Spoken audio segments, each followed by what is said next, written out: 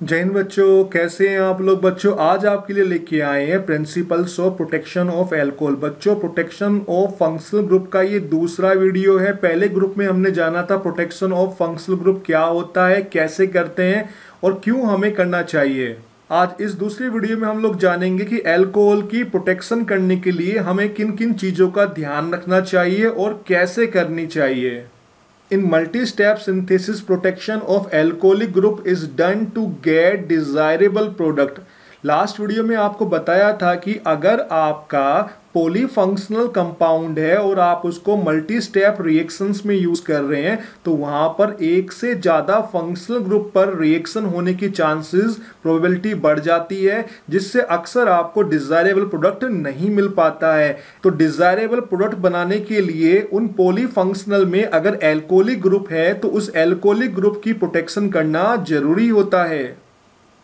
Hydroxyl O acts as nucleophile so it easily undergoes reactions with oxidizing agent alkyl halides, acyl halides to give carbonyl compounds, ethers and esters respectively. बच्चों, आप देख पा रहे हैं कि जो हमारा alcoholic OH functional hydroxyl group होता है, यहाँ पे ऑक्सीजन के पास दो लोन पेयर होते हैं। तो जब आप किसी रिएक्शंस के अंदर डिफरेंट रिएजेंट्स यूज़ करते हैं, जैसे ऑक्सीडाइजिंग एजेंट एल्काइल हेलाइट्स या एसाइल हेलाइट्स यूज़ करते हैं तो यहाँ पर जो लोन पेयर हैं, ये रिएक्शन को प्रोसीड कराते हैं, क्योंकि ओ OH ग्रुप जो होता है, वो अपने लोन पेयर को दे सकता है। That's why O group is nucleophilic in nature और जब ये न्यूक्लियोफिलिक नेचर शो करता है तो ये ऑक्सीडाइजिंग एजेंट से ऑक्सीडाइज होकर आपको कार्बनल कंपाउंड एल्काइल हेलाइड अगर आपने रिएजेंट लिया है तो ये कन्वर्ट हो जाता है इथर में। और अगर आपने एसाइल हेलाइड लिया है तो ओ OH ग्रुप कन्वर्ट हो जाता है एस्टर में। तो आप बताइए कि रिएक्शन के अंदर आपका ओ OH भी रिएक्ट हो रहा है डिफरेंट कंपाउंड दे रहा है तो आपको क्या करना चाहिए सर? हमें इस ओ OH ग्रुप की रिएक्टिविटी को बंद कर देना चाहिए या खत्म कर देना चाहिए। और मैं अगर आपसे पूछूँ कि इस ओ OH ग्रुप की रिएक्टिविटी किसकी वजह से है तो आपने कहा कि सर, ये जो लोन पेयर दे पा रहा है ओ एटम हाइड्रोक्सिल ग्रुप का ओ एटम जो इलेक्ट्रॉन पेयर दे पा रहा है that's why it is nucleophilic in nature तो क्यों ना हम इसकी इलेक्ट्रॉन देने की टेंडेंसी को खत्म कर दें? So, nucleophilicity of OH group should be deactivated by means of protection or blockage or masking of OH group. अभी आपको ऊपर बताया था कि हमारे एल्कोहलिक OH ग्रुप का जो लॉन पेयर होता है, ये रिएक्शंस में यूज़ होता है और ये जब अपने लॉन पेयर देता है, ये न्यूक्लियोफिलिसिटी कहलाती है, जिसकी वजह से ओ OH ग्रुप रिएक्टिव हो जाता है। इसकी रिएक्टिविटी को खत्म करना चाहिए और उसको बोलते हैं डीएक्टिवेशन तो बच्चों ओ OH ग्रुप को डीएक्टिव बनाया जाता है। इस ग्रुप को ब्लॉक करके प्रोटेक्ट करके या फिर इसकी मास्किंग करके। O H groups are blocked और प्रोटेक्टेड बाय बच्चों ओ एच ग्रुप को ब्लॉक करने के लिए दो तरीके हम लोग कॉमनली यूज़ करते हैं, आप उनको जान लीजिए। पहला होता है introducing bulky protecting group which protects it by cause steric crowding बच्चों, हम लोगों को ओ OH ग्रुप पे एक बल्कि ग्रुप लगाना होता है तो आइए जानते हैं कैसे लगाते हैं बल्कि ग्रुप आप यहाँ पे देखिए हमारा सबस्टेट है अल्कोहल है। यहाँ पर हम लोगों ने लिया हुआ है ट्राइटिल क्लोराइड बच्चों, इसको ट्राइफिनाइल क्लोरोमिथेन भी बोलते हैं और जब यहाँ पर रिएक्शन कराते हैं तो एल्कोहलिक ग्रुप का एच और यहाँ से सी एल ये दोनों निकल जाते हैं माइनस एच सी एल होगा और उसके बाद ये हमारा कार्बन के थ्रू ओ पर ये ग्रुप लग जाएगा। आप देख रहे हैं कि यहाँ पे जो हमारा ये बल्कि ग्रुप है, ये ट्रिटिल ग्रुप कहलाता है, इसको हम टी आर से भी दिखाते हैं तो हम लोग यहाँ पे ओ टी आर भी लिख सकते हैं। जो होता क्या है कि कार्बन पे तीन बल्कि फिनाइल ग्रुप लगे, आप देख पा रहे हैं, ये फिनाइल ग्रुप जो होते हैं, ये रिपल्सन की वजह से एक दूसरे से दूर हटते हैं। जो आप देख रहे हैं, ये हमारे बल्कि फिनाइल ग्रुप पीछे की तरफ़ हटते हैं और ये इन लोन पेयर को दबा लेते हैं। कोई भी रिएजेंट इस लोन पेयर तक इलेक्ट्रॉन लेने के लिए नहीं आ पाता है और इसको बोलते हैं स्टीरिक क्राउडिंग तो आप देख रहे हैं यहाँ पे हमने क्या किया?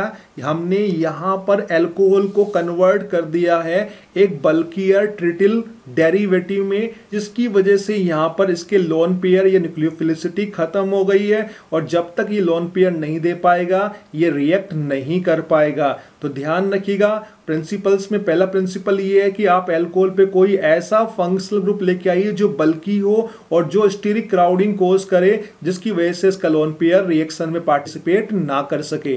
सेकंड होता है बच्चों introducing pi system containing protecting group आपको यहाँ पर ओ OH ग्रुप के साथ में कोई ऐसा फंक्शनल ग्रुप लगाना है जिसके अंदर पाई सिस्टम हो, जैसे कि हमारा कार्बोनिल ग्रुप आइए देखते हैं कैसे। तो आप यहाँ पे दूसरे एग्ज़ाम्पल में देखिए, दूसरे प्रिंसिपल में देखिए, हमने यहाँ पर इसको एल्कोहल के साथ में रिएक्ट कराया है हमारा ट्रेशरी ब्यूटाइल कार्बोक्सिलिक एसिड का डीसीसी की प्रेजेंस में, या फिर आप दूसरा यहाँ पर ये रिएजेंट भी यूज़ कर सकते हैं। तो आप देखिए यहाँ पर हुआ क्या है, यहाँ से आप निकाल दीजिए इसका ओ OH क्लियर है आपको। और यहाँ से एच ये वाटर बन के बाहर निकल जाएगा, अगर आप ये लेते हैं, और यहाँ पर ये पूरा ग्रुप जुड़ जाएगा। अब आपको देखना है कि ये जो ग्रुप कहलाता है, ये हमारा ट्रेशरी ब्यूटाइल कहलाता है। क्लियर है? अब देखिए ऑक्सीजन से नेक्स्ट जो ग्रुप आया है हमारा, ये आया है कार्बोनल ग्रुप टर्शरी ब्यूटाइल में हमारा एक कार्बोनल ग्रुप लगा हुआ है, जिसके अंदर यहाँ पे ऑक्सीजन का जो लॉन पेयर है, ये पाई सिस्टम का एक पार्ट बन गया है कॉन्जुगेशन का एक पार्ट बन गया है। Oxygen being electronegative pi electron को अपनी रेटेड करेगा, जिसकी वजह से ऑक्सीजन का लोन पेयर है, जो है वो कॉन्जुगेशन का पार्ट बन के यहाँ पे डबल बॉन्ड बनाने में यूज़ होने लगता है और ये बाहर की ओर नहीं जा पाएगा। तो अगर आपने ये ग्रुप लगा दिया है बच्चों, जिसके अंदर कोई पाई बॉन्ड होता है और हमारा जो ये ऑक्सीजन का लोन पेयर है कॉन्जुगेशन का एक पार्ट बन जाता है तो ये लोन पेयर रिएक्शन में रिएजेंट के पास नहीं जा पाएगा।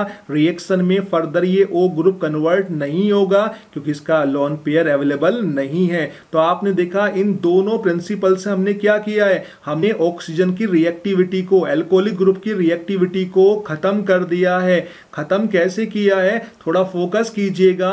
एल्कोहलिक ग्रुप में ओ OH की जो रिएक्ट एक्टिविटी होती है, वो होती है ऑक्सीजन के ऊपर प्रेजेंट लोन पेयर की वजह से। जब ये अपना लोन पेयर दे पाता है बीइंग आ न्यूक्लियोफाइल तो ये रिएक्शन में कन्वर्ट हो जाता है। हमने पहले में बल्कि ग्रुप लगाया, जिसकी वजह से यहाँ पे क्राउडिंग की वजह से लोन पेयर दब गए और रिएजेंट इसके पास तक लोन पेयर लेने के लिए नहीं पहुँच पाता है। दूसरी कंडीशन में हमने क्या किया? कॉन्जुगेशन बढ़ा दिया। हमारा जो ऑक्सीजन का लोन पेयर होता है, वो कॉन्जुगेशन में शामिल हो जाए और बाहर ना निकल पाए। तो दोनों ही केस में ऑक्सीजन का लोन पेयर बाहर नहीं निकल पा रहा है रिएजेंट के पास नहीं जा पा रहा है। तो आप ही बताइए, क्या ऐसा ओ OH ग्रुप रिएक्शन के अंदर कन्वर्ट हो पाएगा? नहीं हो पाएगा। And this is known as blocking और प्रोटेक्शन ऑफ़ एल्कोहलिक ग्रुप बच्चों, आपको ये क्लियर हुआ होगा कि ये दो प्रिंसिपल का यूज़ किया है, कैसे यूज़ कर रहे हैं, और अगले वीडियो में हम लोग देखेंगे उन कॉमन रिएजेंट्स को जो फ्रीक्वेंटली यूज़ किए जाते हैं फॉर द प्रोटेक्शन और blocking of alcoholic group thanks for watching